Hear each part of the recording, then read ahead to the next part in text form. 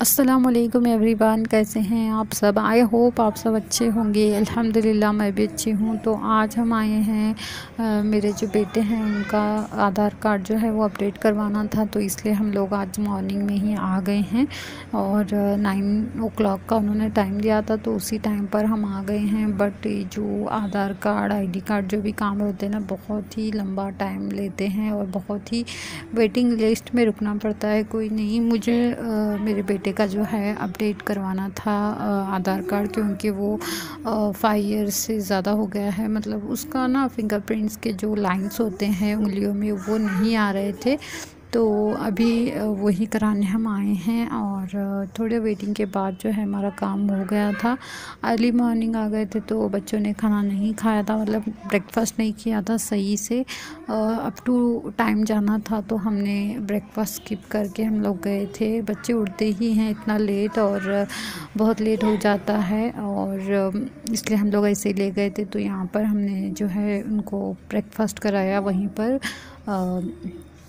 डोसा और कुछ दिन वड़ा खिलाया था होटल में। तो यहाँ पर अभी हम घर आ गए हैं तो यहाँ पर मेरा मनी प्लांट का जो लीव्स है, वो पता नहीं क्यों येलो येलो में हो रहे थे। इसका नया एक लीव भी निकला है तो एक निकला है पत्ता तो मुझे लगता है कि ग्रो हो रहा है। बट साइड से जो येलो येलो पत्ते आप देख रहे हो, लीव्स, वो भी ख़राब हो रहे थे तो मैं इसकी थोड़ी केयरिंग कर रही थी। तो वही यहाँ पर चल रहा है तो यहाँ पर मैं आपके साथ एक बात शेयर करूँगी। वो ये है कि कल परसों के दिन मैंने एक वीडियो देखा। दीपिका कक्कर, आप सब लोग पहचानते होंगे, जानते होंगे, उनके ब्लॉग्स होते हैं। जो हेड कमेंट्स करने वाले लोग होते हैं ना, वो कभी मतलब वो कभी सुधरते नहीं हैं। इतने इतने ऐसे कमेंट किए हैं कि आपकी प्राइवेसी वगैरह उनके लिए। और इसके जवाब में दीपिका कक्कर ने इतना अच्छा जवाब दिया कि बहुत अच्छा लगा मुझे उनका वीडियो देखकर। और प्लीज़ मैं जो भी हेड कमेंट्स करते हैं प्लीज़ उनसे रिक्वेस्ट करूँगी किसी के लाइफ में इतना इंटरफेयर मत करें कि वो डिस्टर्ब हो जाएँ। और एक बात उन्होंने की कि अगर दो लोग भी हमारा वीडियो देखेंगे तो हम उनके लिए ब्लॉग बनाएँगे। तो जेन्यून व्यूवर का बहुत ज़्यादा एक इंसान की ज़रूरत होती है कि हम लोग, हम लोगों को जेन्यून इंसान मिले। तो उसी तरीके की उन्होंने बात की, मुझे बहुत अच्छी लगी उनकी बात और इतने गुस्से में वो थी। और ये जायज़ भी है कि किसी के फैमिली पे कोई इस तरीके की बातें करता है तो बिल्कुल हर एक इंसान को गुस्सा आएगा ही तो बहुत जायज़ था उनका गुस्सा। और और उन्होंने सॉरी भी कहा, बट ये ठीक है कि आप अपने हम लोग अपनी लाइफ को शेयर कर रहे हैं। मतलब कुछ भी अपना आ, सारे सोशल मीडिया पर अपना जो शेयर कर रहे हैं। बट ऐसा नहीं है कि आप हमारे फैमिली मेंबर्स पर या फैमिली पर या हमारी ज़िंदगी हम आपको दिखाते हैं कितना है। Fifteen to ten ten minutes का हमारा वीडियो होता है। हम उतना ही दिखाते हैं जितना हम दिखाना चाहते हैं। बट रियल लाइफ में ऐसा कुछ नहीं होता।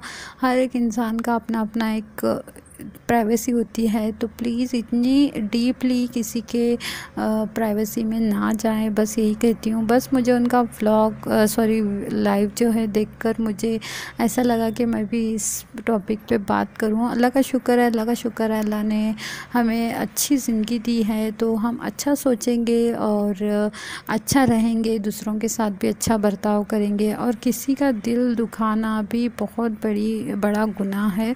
मतलब किसी का भी भी दिल हमारी वजह से दुखता है तो जब तक हमारी माफ़ी नहीं होगी, जिसका दिल हमने दिखाया, दुखाया है सॉरी उस शख्स हमें, वो शख्स हमें माफ़ नहीं करेगा। तो किसी को कुछ भी बोलने से पहले दो मिनट या एक मिनट के लिए सोच लिया करेंगे जो हम बोल रहे हैं, क्या वो सही है।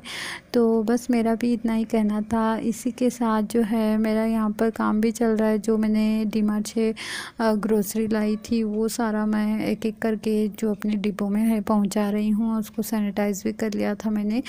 और यहाँ पर बच्चों के नहाने की जो, शावर लेने की तैयारी हो रही तो यहाँ पर मैं उनके लिए जो कपड़े हैं, मैं निकाल रही हूँ। बच्चों को नहलाने जाने से पहले मैं सारे कपड़े निकाल लेती हूँ। अदरवाइज़ बहुत मुश्किल होती थी, हो जाती है। तो इसी के साथ लेती हूँ मैं आप सबसे। अलविदा इन ताला फिर मिलूँगी। अल्लाह हाफिज़ and thank you so much